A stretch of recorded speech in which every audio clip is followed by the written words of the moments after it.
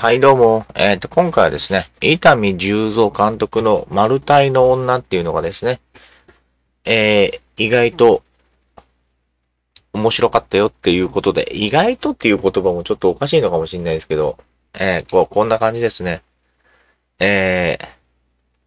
えー、ビーチクーが出てますけど、あの、偽父なんで、大丈夫ですよってことで。あれ、いい、いいよね、多分。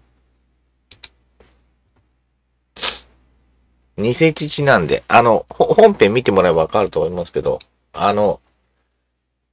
な、なんだろう。こういう衣装に、あの、な、なんなんだろう。ピンクか赤か知らないけど、点がついてるだけな話なんで。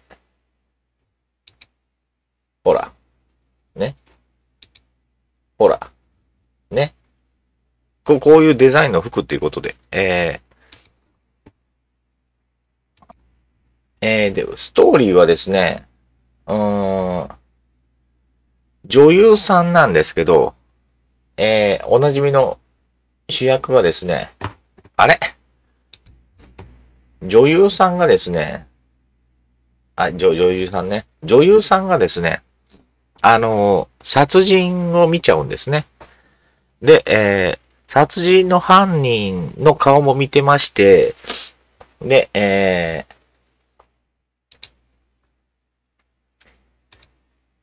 ー、殺人の犯人の顔も見てるんだけど、えー、っとですね。で、それ、その犯人がですね、宗教絡みの犯人で、えー、宗教の批判をされたので、あの、殺しちゃったとか、そういうお話で、その、宮台なんとかさんが襲われたんですけど、あんな感じに近いのかな？えー、うちの宗教の悪口言ったからあいつ殺すみたいな感じで殺しちゃって、え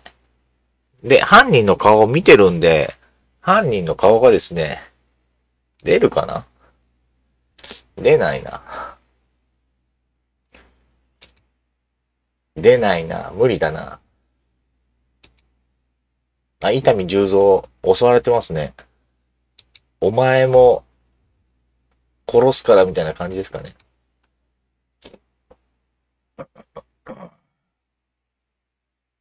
えー、ないな。ちょっと待てよ。えー、犯人がですね、この、ジャニーズのこの人なんですけど、えー、そうですね。で、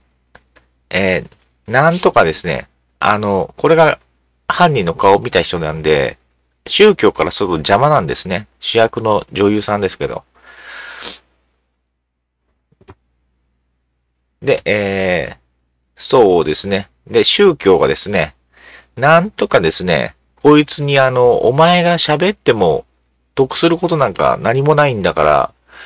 あの、証言するなよって。警察に協力するなよ、裁判に協力するなよってこう、うん、宗教からの嫌がらせをですね、ガンガンに受けて、どうするのかっていう映画ですね。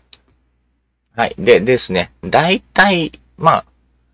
えー、まあ、伊丹十三もですね、宗教系はあんまりですね、やりたくなかったんでしょうけど、やってるんですけど、多分ですね、オウム真理教を、えー、モデル、モデルっていうかですね、モデルは多分別なんですけど、モデルも一緒かな。宗教全体的に怖いですよっていう映画なんですけど、うーん、えー、っとね、オウム真理教がサリン撒いた後の映画なんで、な、なんですかね。お、オウムいじりは若干やってもいいぐらいの空気になって、日本中がなってるんで、うん、まあ、オウムがモデルですよ、みたいな感じのことをですね、うん、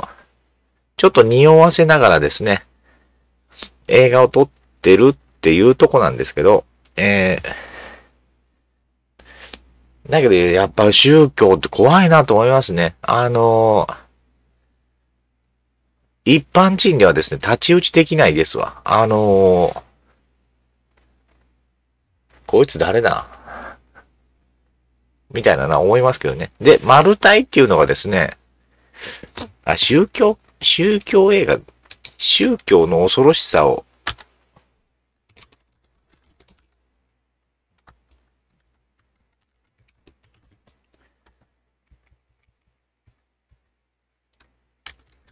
カルト宗教の恐ろしさの、マルタイの女が面白かった。マルタイっていうのがですね、あのえー、要警護対象者。あの、ちゃんとですね、警察が警備をしないと簡単に殺されちゃうような感じのポジションにいる人ってことで、えー、まあ女優さんなんでまあ、えー、結構、なんですかね、お仕事も忙しいですし、するんですけど、あれ出るかな。あの、えー、古畑任三郎のですね、この今泉ですけど、こいつがですね、しっかり守ってくれる、まあ、ここいつだけじゃないですけど、まあ、警警察がですね、えー、警視庁が、警視庁を挙げてですね、えー、マルタイの、マルタイ、えー、ん？警護対象者かな？をですね、まあ一生懸命守ってくれるんですけど、えー、相手は宗教なんで、あの、なかなかですね、大変でしてってことで。あ、で、まあ、うん、まあ、簡単にはですね、まあ、もう伝わったと思うんですけども、宗教から、えー、そうだな。な警察とかに必要な人をですね、守るっていう映画ですね。で、まあ、えー、宗教はですね、やっぱ怖いなと思うんで、あの、宗教の恐ろしさがですね、えー、見たい人は、宗教の恐ろしさの、こう、うん、上っ面ですね。あの、宗教の、自分とこの宗教のためだったらですね、何でも悪いことやって OK みたいな感じがちょっと怖いかなっていうのは思うんで、はい、そういうのをですね、味わいたい人は、よかったら見てみてねってことで、はい、えー、伊丹十三さんですね。あの、昔小さい頃はですね、えー、こんな感じの映画はですね、なんだろう、えー、あーおじさんとかおばさんが好きそうな、なんだろう、か、感じの雰囲気が流れる映画なんで、昔はね、あんまり好きじゃなかったんですけど、うん、で、撮り方も結構雑ですけど、まあ、わかりやすくてですね、えー、まあ、おも、個人的にね、ああ、伊丹十三の映画って面白いなと思って、はい、よかったら見てみてねってことで、はい、今回、マルタイの女。マルタイの女がねですね、おそらく伊丹十三の最後なんじゃないかなと思うんですけど、この後にですね、